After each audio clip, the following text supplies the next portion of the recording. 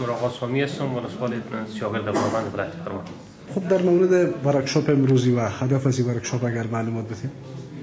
ورکشاپ امروزی آگاهی همه مردم و شرکایی که در برنامه ملی میثاق شهروندی فعال هستند و ادارات که در این زمینه جنگ هستند با وزارت محترم انکشاف دهات مثلا وزارت صحت عامه وزارت معارف و بخش محیط زیست امور زنان صحت عامه. اینا ادارات هستند که در برنامه ملی میثاق شهروندی با هم هماهنگ هستند یک برنامه مشترک بین وزارتی هست که ارگان های محل در این قسمت در رأسشان قرار داره. این برنامه در فعلا در ولسوالی های سیاگرد و ولسوالی شیخری ولایت فرمان تطبیق می‌شد تعداد از پروژه های حدودا 41 پروژه را در سال جاری پروپوزلش ساخته شده منظور شده و بودجهشان به بانک آمده که به شروع سال انشاءالله وقت مناسب فعالیتشان تطبیق پروژه ها شروع می شود تعداد 180 شورا در ولسوالی سیاگرد موجود هست که پروپوزل اکثر شوراهایشان پروپوزلشان ساخته شده. پروژه هایی که طریق مردم پیشنهاد شده پیشکش شده. اینا به وزارت محترم انکشافتیات ارسال شده تا از طریق وزارت انکشافتیات و بانک جهانی منظور شود. در انتظارشان هستیم. و در مجموع 22 پروژه در پیش از اینکه برف و باران بیاد در ولسوالی سیاگرد عملا کارش جریان داشت و پروژه چای آبی آشامیدنی عملا برای فعلا هم تقریبا در حدود در 12 پروژه هست که کارشان جریان دارد در ولسوالی سیاگرد این پروژه هایی که پیشنهاد شده و منظور شده چاهای آبی آشامیدنی هست و شبکه های آبی آشامیدنی هست که از چشمه ها اون می‌گیرن تنظیم می‌کنن شبکه بندی می‌کنن و با فامیلات توضیح میشه و بندهای آب کردان است و کانال ها هست های استنادی هست که از طرف مردم نظر و ضرورت و نیازمندیشون از طرف مردم پیشنهاد شده و از طریق برنامه ملی میثاق شهری تطبیق میشه آیا مردم از این برنامه راضی است و شخص خود شما چه است از دیدگاه شما؟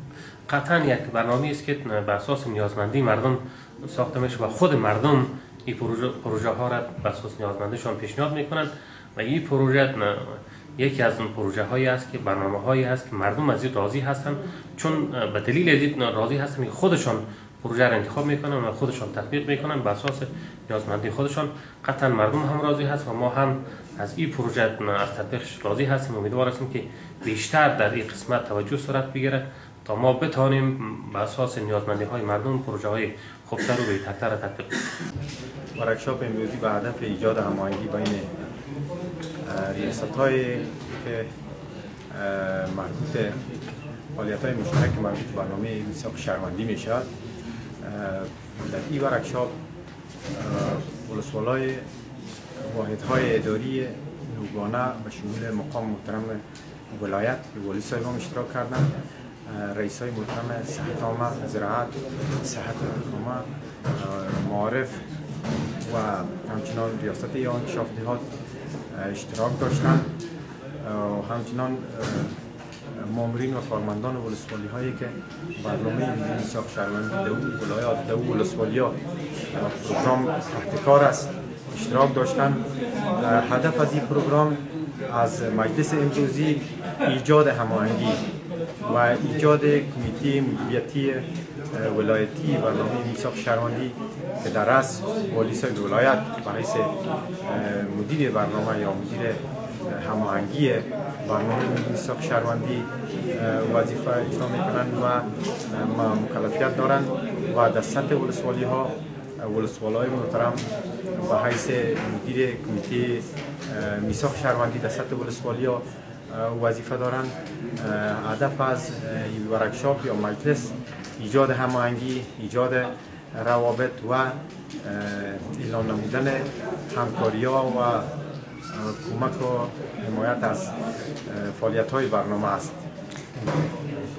در ولایت پروان دو ولسوالی تحت کار فعالیت های برنامه میثاق شهروندی قرار دارد که ولسوالی سیاگرد و ولسوالی شیخلی است. در هر دو ولسوالی جمع 234 قریه است که 234 شورای انکشافی ایجاد شده.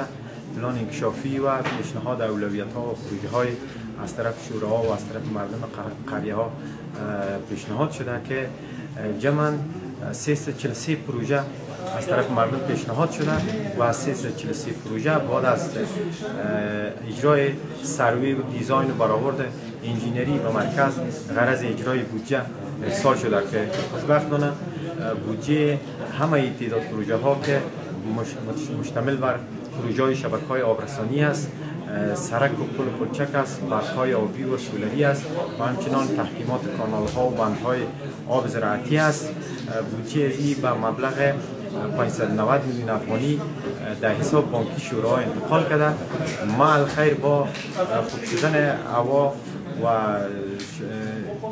مساعد شدن شرایط کار فیزیکی و ساختمانی که انقریب انشاءالله در عمل کار اولی پروژه ها شروع میشه و جمعا 343 پروژه است که به خیر کار شروع میشن و از در سال گذشته 64 پروژه تحت کار فیزیکی قرار داشت که فیصدی های پیشرفت کار از وا در حدود 50 60 70 تا 80 فیصد کار فیزیکیشان و اتمام رسیده با مساعد شدن هوا دوباره کار یکی از اون تعداد پروژه هم و سر گرفته میشه و انشالله در ماهای پیش روی و بهره برداری سپرده خواهد شد رضاداد نظری هستم ولسوالی ولسوالی شیخ علی.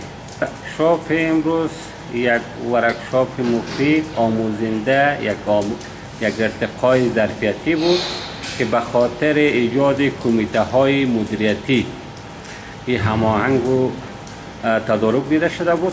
ما از استفاده کردیم و ملی مساق شهروندی برای فعلا در سه بخش کار می‌کنه. یکی در بخش زراعت است یکی در بخش برق است و یکی هم در بخش زربینا یا سرک. در این سه بخش کار می‌کنه در علی.